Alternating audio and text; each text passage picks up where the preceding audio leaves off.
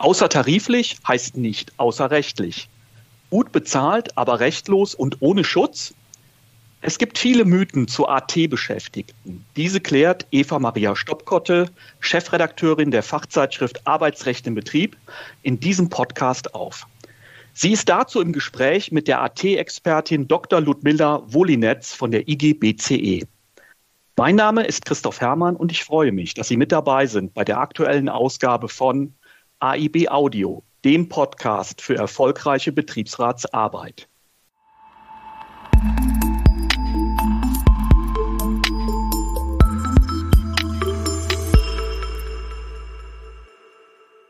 AT-Beschäftigte dürfen nicht über ihr Gehalt sprechen. Und da sie so gut bezahlt werden, gilt auch das Arbeitszeitgesetz nicht.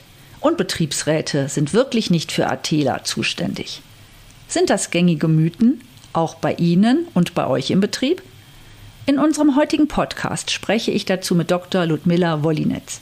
Sie ist eine der AT-Spezialistinnen in der IGBCE und muss es ja wissen. Hi, liebe Mila. Hallo, Eva.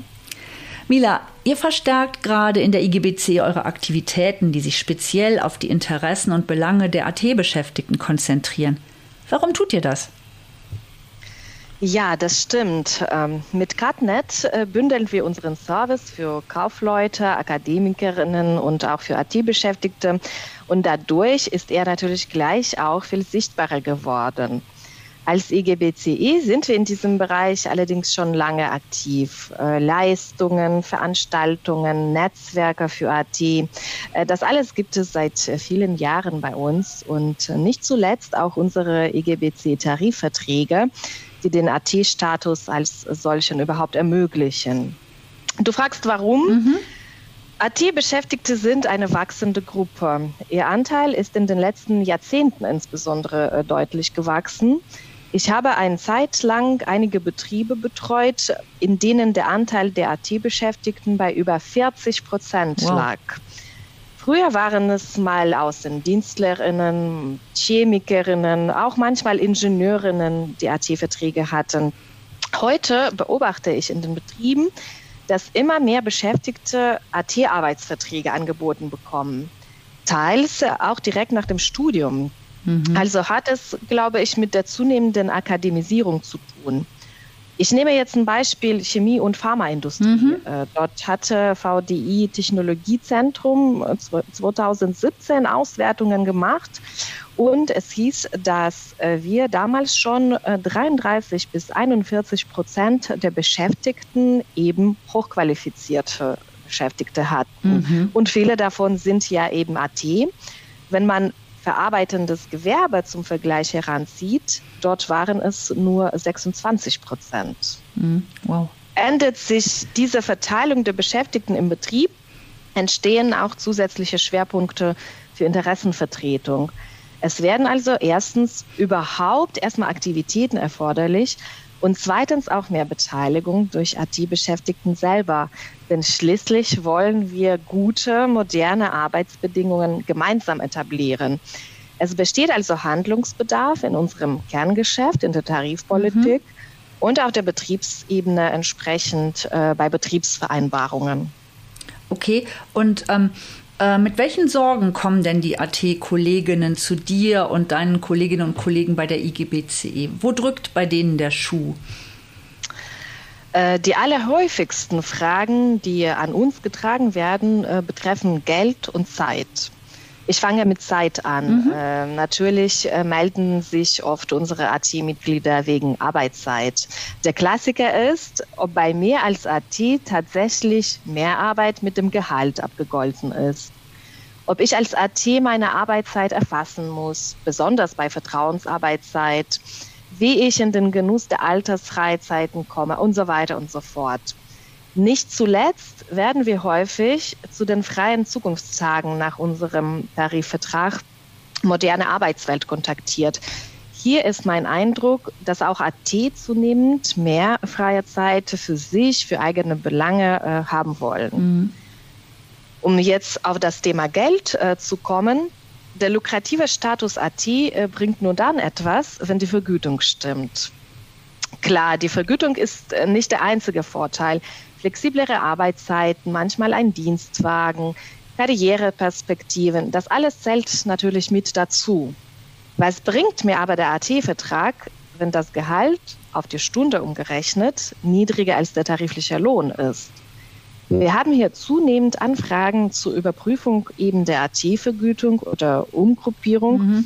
Und ich muss sagen, überraschend oft sehen wir AT-Kolleginnen und Kollegen, bei denen schon arbeitsvertraglich, manchmal auch sogar betrieblich Gehälter vereinbart werden, die im Tarifbereich liegen. Mhm. Da kann aber dann der Betriebsrat doch helfen, oder? Ja, tatsächlich, so ist es, aber auch nur zum Teil. Denn die meisten tariflichen Regelungen die gelten ja für AT-Beschäftigte definitionsgemäß nicht. Mhm. Und daher liegen hier viele Regelungen in den Händen der Betriebsräte. Sie haben hier auch mehr Mitbestimmungsrechte im Vergleich zum Tarifbereich, insbesondere bei Fragen der Entgeltgestaltung, äh, Grundvergütung, Variablenvergütung und so weiter. Allerdings sehe ich auch äh, hier in manchen Betrieben in manchen Betrieben einen Handlungsbedarf dahingehend, dass beispielsweise Neueinstellungen mit zu niedrigen AT-Gehältern zugestimmt wird oder zum Beispiel Stellen, die nach Entgelttarifverträgen einzugruppieren wären, äh, doch als AT eingruppiert werden. Da sehe ich auch äh, Handlungsbedarf. Mhm. Das wäre ja dann auch wieder bei den Betriebsräten, äh, dass sie sich darum kümmern, den Arbeitgeber dazu aufzufordern, dass das so nicht in Ordnung ist, ne? wie sie wie tatsächlich ja. die Atheler da eingruppiert worden sind. Ähm, aber genau, um hier nochmal in die äh, Rechte der Betriebsräte, die ja sehr ausgeweitet sind bei den Athelern, äh, hineinzugrätschen. Ähm, der Betriebsrat kann Betriebsvereinbarungen auch weitreichend äh, mit Arbeitsbedingungen von AT-Beschäftigten ausgestalten bzw. da mitbestimmen. Besonderes Augenmerk ist hier auf die Mitbestimmung bei der Vergütung, ja gerade bei der Vergütung zu richten, die deutlich weiter geht als bei den Tarifverträgen Tarifbeschäftigten, du sagtest es ja schon, Betriebsräte haben ein zwingendes Mitbestimmungsrecht bei den Fragen betrieblicher Lohngestaltung nach 87 Absatz 1 Nummer 10 Betriebsverfassungsgesetz, wenn keine tarifliche Regelung besteht. Deshalb hat der Betriebsrat auch ein Initiativrecht für ein AT-Vergütungssystem. Das kann mit umfassen zum Teil Prämien, Zulagen und Zuschläge sowie Provisionen, Umsatz und Gewinnbeteiligung. Und der Betriebsrat bestimmt auch bei der Arbeitszeit mit. Das Recht nach 87 Absatz 1 Nummer 2 Betriebsverfassungsgesetz umfasst alle kollektiven Regelungen hinsichtlich des Beginns, Ende und Dauer der täglichen Arbeitszeit, der Verteilung der Arbeitszeit, Gleitzeit oder auch Vertrauensarbeitszeit. Darunter fallen auch die entsprechenden Regelungen für AT-Beschäftigte. Hält es also der Betriebsrat für erforderlich, für die Arbeitszeiten der AT-Angestellten ein einheitliches Regelungssystem zu schaffen, dann kann er dieses sogar erzwingen. Er hat in sämtlichen Angelegenheiten des 87 Betriebsverfassungsgesetz ein Initiativrecht. Das heißt, er kann von sich aus eine kollektive Regelung verlangen und, falls das nicht gelingt, kann die Einigungsstelle eine bindende Entscheidung herbeiführen. So die Theorie. Aber wie sieht es denn in der Praxis aus? Oftmals ist die praktische Betriebsratsarbeit für AT-Beschäftigte noch viel komplexer, oder Mila? Tatsächlich, äh, das sehe ich auch so. Einerseits geht es äh, dabei für Betriebsratsarbeit um die Themen an sich. Hier müssen nicht einfach einzelne Aspekte geregelt werden, sondern ein komplettes Entgeltsystem muss strategisch konstruiert mhm. werden. Aus meiner Sicht werden Fragestellungen und auch Anforderungen an Betriebsräte im IT-Bereich komplexer. Sie erfordern viel mehr Fachwissen, viel mehr Sachverstand, ja auch komplexere analytische Vorgehensweisen als in manchen anderen Themenfeldern, wo vieles schon gesetzlich oder tariflich äh, bindend geregelt ist. Andererseits stehen viele Betriebsräte vor einer anderen Herausforderung. Mhm. Eine kompetente Interessenvertretung für AT-Beschäftigte aufzubauen, geht nur mit diesen Beschäftigten zusammen. Betriebsräte müssen äh, diese Beschäftigte stärker einbinden, sowohl ihre Interessen in der Kommunikation als auch sie im Verhandlungsprozess äh, beteiligen. Und gerade wegen einem Irrtum, dass die Betriebsräte für AT nicht zuständig wären, sind hier leider auf beiden Seiten häufig zunächst Berührungsängste zu überwinden. Aber es ist für AT-Beschäftigte ohne dieses Grundgerüst und mit dem Grundgerüst meine ich tarifliches Gefüge mit seinen Mindestbedingungen, ergänzende betriebliche Regelungen, die Betriebsräte zur Verfügung stellen. Für AT-Beschäftigte ist es ohne dieses Grundgerüst schwierig, individuell mehr herauszuholen. Mhm. Mhm. Es ist allerdings auch für die Betriebsräte schwierig, ein vernünftiges Entgeltgerüst durchzusetzen, wie dies im Interesse der AT-Beschäftigten ist, ohne dass sie sich aktiv und sichtbar an gewerkschaftliche und Betriebsratstätigkeiten beteiligen. Ich finde, beide bedingen sich hier gegenseitig. Okay, und was sollen die Betriebsräte in puncto Gehalt dann machen, damit betriebliche Entgeltsystematiken stimmen und bei AT-Entgelten, wie bei dem klassischen Nutella-Prinzip, nicht nur AT draufsteht, sondern auch drin ist? In einem unserer Betriebe wurde das AT-Entgeltsystem äh, vor kurzem neu verhandelt. Es sind, glaube ich, am Ende fünf Betriebsvereinbarungen geworden, um alle Aspekte hm? dieses Themas abzudecken. Zunächst musste ein Verfahren der Stellenbewertung geregelt werden. Dann äh, muss ein System der Bänder einschließlich Bandober- und Untergrenzen definiert werden. Dazu kommen noch Leistungsbewertungskriterien, denn anhand dieser werden AT-Entgelte in der Regel angepasst. Und das Ganze musste schließlich auch noch auf Tarifkonformität überprüft werden. Denn so ein betriebliches AT-Entgeltsystem darf ja nicht gegen den Tarifvertrag verstoßen. Mhm. Und dieser Aspekt äh, übrigens wird häufig weder von Anbietern der Stellenbewertungssysteme noch von beratenden Rechtsanwälten ausreichend berücksichtigt. Das heißt, ähm, dass wenn man nur noch einen Aspekt hier auslässt, entsteht die Gefahr, dass AT-Entgelte möglicherweise unter tarifliche Mindestbedingungen rutschen. Mhm. Nun ist es nicht selten so, Zunächst freuen sich die Beschäftigten über den AT-Status Ihnen werden Karriereentwicklungsperspektive in Aussicht gestellt. Und erst nach Jahren wird Ihnen klar, dass sich das in Geld nicht so entwickelt wie erwartet. Vielleicht bleibt auch noch eine erwartete Beförderung aus. Schließlich können ja nicht alle Top-Führungskräfte werden.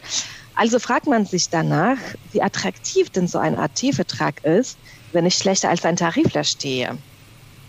Hm. Das stimmt. Und die Top-Führungskräfte müssen ja auch bezahlt werden. Und wer macht am Ende die Arbeit? Das ist immer die Frage. Mhm. Ähm, AT und Tarif scheinen sich aber auf den ersten Blick ja äh, nichts miteinander zu tun zu haben, also scheinen sich auszuschließen.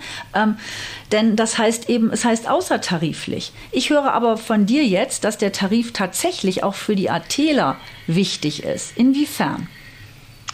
Sehr wichtig, Eva, denn es gibt keine gesetzliche Definition, wer ist AT. Mhm. Nur in Tarifverträgen werden solche Abgrenzungskriterien und auch Mindestarbeitsbedingungen definiert. Sprich, ohne T kein AT, ohne Tarifvertrag kein AT-Vertrag. Zudem bauen äh, außertarifliche Vergütungen auf den tariflichen Entgelten auf.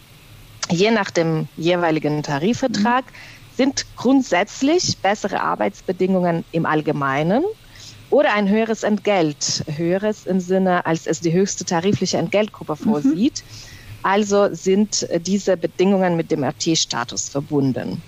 Insbesondere was allgemeine Arbeitsbedingungen angeht, hier bietet sich der Vergleich aufs Jahr gerechnet. Immer wieder kommen zu mir AT-Beschäftigte oder auch Tarifler, die so einen AT-Vertrag angeboten bekommen die auf den ersten Blick monatlich etwas mehr verdienen. Aber ich rechne das mit ihnen dann immer zusammen durch. Mhm. Berücksichtigt man die längeren Arbeitszeiten sowie den Wegfall der zusätzlichen tariflichen Vorteile, wie zum Beispiel Freistellungen, Jahressonderzahlungen, Urlaubsgeld, tarifliche Altersvorsorge oder auch Zukunftsbetrag, dann wird es schnell deutlich, dass das höhere monatliche Entgelt nicht immer tatsächlich mehr bedeutet. Um das in den Worten von unserem Vorsitzenden Michael Vasiliadis zu sagen, wo Beschäftigte 15 Prozent mehr verdienen, hm. aber 20 Prozent mehr Arbeitszeit äh, leisten, wird Tarifschutz äh, zunehmend wichtiger. Hm, das klingt einleuchtend. Also sind die Tarifverträge sozusagen ein notwendiges Fundament. Äh, AT-Arbeitsbedingungen bauen eben darauf auf und können denn auch in Tarifverträgen einzelne Leistungen für AT-Beschäftigte geregelt werden. Geht das? Ja, sicher. Auch hier entwickelt sich einiges in letzter Zeit. Unsere neuen Tarifabschlüsse zeigen, dass äh, zunehmend mehr Leistungen auch für Akademikerinnen und AT auch tariflich geregelt werden mhm. können.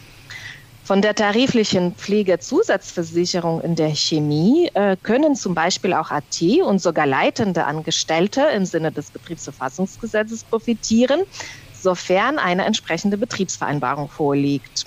Ein anderes Beispiel. In manchen unseren Betrieben äh, wurden nach dem Abschluss vom erwähnten Tarifvertrag Moderne Arbeitswelt Regelungen ausgehandelt, von Betriebsräten in dem Fall, die die zusätzlichen fünf Freistellungstage auch für ATF mhm. In den anderen Betrieben wiederum äh, wurden die Regelungen zur zusätzlichen Altersvorsorge auch auf AT ausgeweitet. Aber natürlich gilt auch hier der Grundsatz unseres gewerkschaftlichen Handelns, dass kollektiver Verhandlungserfolg erst durch einen hohen Organisationsgrad erreicht wird. Darum ist die Mitgliedschaft auch von AT-Beschäftigten in der Gewerkschaft so wichtig. Hm, das ist natürlich auch wichtig, um, damit ihr wisst, welchen Auftrag geben euch die ATler. So ähnlich wie auch der Betriebsrat von ja. denen, wenn die gut ins Gespräch kommen, äh, einen Auftrag erhält. Und ich höre daraus, ähm, dass Betriebsräte auch über die Tarifpolitik hinaus zunehmend mehr vor Ort ergänzend regeln können. Ne? Du hast das ja eben erwähnt, die haben da fünf Freistellungstage draus gemacht für die AT-Beschäftigten, die ja eigentlich für die nicht geregelt gewesen sind, aber die haben es gemacht dann, ne? weil auch eure Tarifverträge das mhm. ermöglichen. Was können denn die Betriebsräte Betriebsräte machen und wo können sie sich dazu informieren, welche Möglichkeiten sie noch haben? Weil ihr habt ja ein ganz großes Leistungsspektrum für die Betriebsräte zur Verfügung gestellt, wo, wozwischen die sich entsch äh, entscheiden können. Gerade weil die Themen ziemlich komplex äh, sind, ähm, reicht es nicht, nur Schulungen oder Seminare zur Verfügung mhm. zu stellen, sondern, und hier legen wir besonderen Wert, wir unterstützen unsere IGBCE-Betriebsräte vor allem mit der strategischen Beratung vor Ort.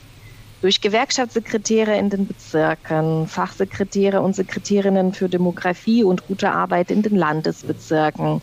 Ja, schließlich auch durch uns, durch äh, Fachsekretäre in der Hauptverwaltung. Zusammen mit Betriebsräten begleiten wir also derartige Verhandlungen, zum Beispiel zu Themen AT-Vergütungssystem, mobile Arbeit, Vertrauensarbeitszeit, und so können auch Betriebsräte von unserer Branchenexpertise und Insiderwissen profitieren und wir als IGBCI wiederum von betrieblichen Herausforderungen lernen. Mhm. So haben wir zusammen den Blick über Betriebe, über Branchen hinaus. Was noch sehr wichtig ist, über betriebliche Kartennet-Veranstaltungen unterstützen wir Betriebsräte und auch Vertrauensleute äh, dabei, mehr AT-Beschäftigte zu erreichen, vor allem Berührungsängste bei diesen Beschäftigten abzubauen, sie zur Beteiligung zu motivieren. Nur im ständigen Dialog mit AT-Beschäftigten kriegen wir die vorhin erwähnten Berührungsängste überwunden und bauen Vertrauen auf. Mhm. Ich erinnere mich da an ein ganz tolles Event, das von der IGBCE Köln-Bonn und dem Betriebsrat von Lanxess für die AT-Beschäftigten stattgefunden hat. Ähm, das war noch vor Corona und das Event hieß Meet and Eat. Ziel war es hier in einem bei Fingerfood Lunch äh, äh, stattfindenden Treffen neben der Beantwortung arbeitsrechtlicher Fragen mit den AT-Kolleginnen ins Gespräch zu kommen und auch zu hören, wo sie der Schuh drückt und welchen Auftrag sie dem Betriebsrat und der Gewerkschaft geben. Das war eine tolle Veranstaltung, von der meines Wissens alle Seiten profitiert haben. Äh, das ist ein sehr schönes Beispiel, Eva, äh, das auch zeigt zugleich, wie wichtig in unserer Zeit auch Netzwerke mhm. geworden sind.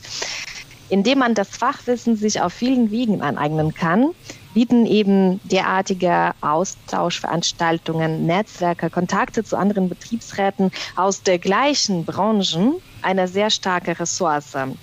Hier kann man auf die Erfahrungswerte zugreifen, Wissen aus der Praxis mitnehmen. Und das, wie ich finde, sind wertvolle Ergänzungen zu dem Fachwissen, das in den Schulungen vermittelt mhm. wird. In meiner vorherigen Position hatte ich zum Beispiel einen Pharmabereich in meiner Betreuung gehabt, wo die einzelnen gegenwärtig nicht miteinander verbundenen Betriebe durch Betriebsübergänge eine gemeinsame Vergangenheit hatten oder füreinander etwas gefertigt hatten oder auf einmal den Geschäftsführer vom Betrieb XY als eigenen Geschäftsführer hatten. Dieses wertvolle Wissen habe ich damals über ein regelmäßiges Pharmafrühstück gebundelt und dort auch den Austausch der Betriebsräte gefördert. Denn das ist gerade im Umgang mit deinem Gegenüber so wichtig, zu wissen, wie tickt dein Gegenüber. Und das erfährt man eben nur im Austausch mit den anderen Betriebsräten.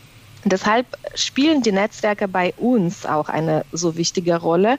Branchennetzwerke, zahlreiche Betriebsratsnetzwerke lokal, also auf der Ebene der Bezirke. Ja, auch bezirksübergreifend haben wir äh, Netzwerke. Zum Beispiel in der Region Rhein-Main-Neckar haben wir ein sehr starkes AT-Netzwerk aufgebaut und natürlich unsere Betriebsräte-Netzwerke bundesweit.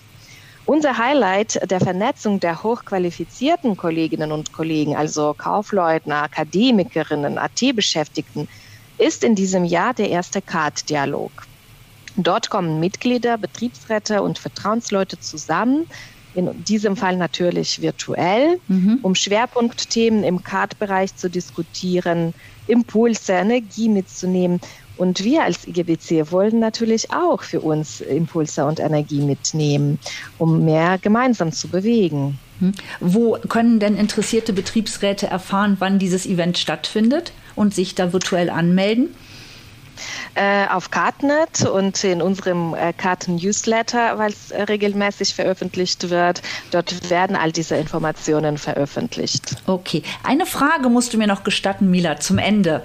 Oft ist es ja in den AT-Arbeitsverträgen geregelt, dass die ATler sich verschwiegen verhalten gegen äh, über dem Ausspruch, also der, der Information über ihr Gehalt. Also selbst der Betriebsrat darf das denn nicht wissen. Ähm, oder es sind tatsächlich Regelungen enthalten, dass Mehrarbeit mit dem Gehalt abgegolten ist. Was würdest du in einem solchen Fall den Beschäftigten empfehlen? Wie sollen die da vorgehen? Diesen Beschäftigten würde ich empfehlen, unsere Rechtsberatung und äh, wenn dann später notwendig, auch unseren Rechtsschutz in Anspruch zu nehmen. Denn das ist ein Teil der Mitgliederleistungen. Mhm. Und darum können sich Kolleginnen und Kollegen immer individualrechtlich, im Arbeitsrecht, übrigens auch im Sozialrecht beraten lassen. Und gerade bevor man einen neuen Arbeitsvertrag unterschreibt oder auch einen Aufhebungsvertrag, kommt ja auch in der mhm. Praxis vor, Bevor man derartige Unterlagen unterschreibt, finde ich, man muss sich ja von einem Experten, von einer Expertin äh, beraten lassen. Auch können hier in diesem Rahmen derartige Verschwiegenheitsklauseln, wie du die schon erwähnt mhm. hast, Mehrarbeitsklauseln überprüft werden, Arbeitszeugnisse, Auswirkungen der Abfindungen und so weiter und so fort. Und besonders bei den Einstiegsbedingungen kriegen Kolleginnen und Kollegen sehr gute Beratung bei uns bei der Gewerkschaft und da empfehle ich immer, bevor man in so einem Bewerbe, Bewerbungsgespräch geht, ähm, dann empfehle ich immer einen Anruf bei der Gewerkschaft. Das ist super und ist sicher ein ganz erfolgsbringender Tipp. Ganz, ganz herzlichen Dank, liebe Mila, für dieses tolle Interview. Danke dir, Eva.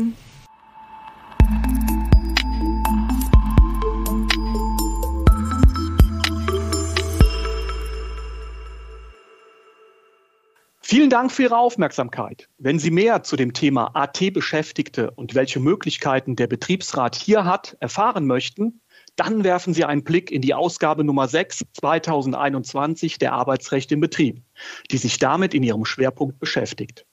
Sie sind kein Abonnent? Kein Problem. Fordern Sie auf unserer Website www.bund-verlag.de gerne zwei kostenfreie Probehefte an. Und noch ein Tipp zum Thema AT.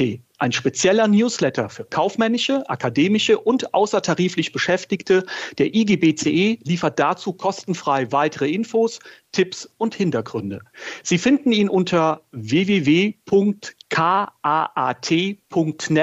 slash newsletter. Die aktuelle Ausgabe steht seit dem 18. Mai zum Download bereit. Wenn Sie unseren Podcast gut finden, dann liken Sie ihn, teilen Sie ihn, empfehlen Sie uns gerne weiter. Und wenn Sie eine Idee für ein Podcast-Thema haben, dann nichts wie raus damit an podcast.aib-web.de.